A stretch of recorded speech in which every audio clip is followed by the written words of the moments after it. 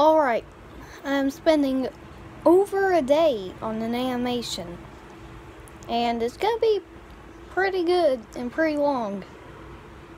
Not like 30 minutes, but not less than one minute.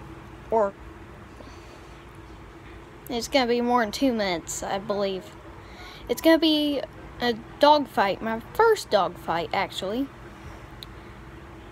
No, not actual dogs flying, it's airplanes.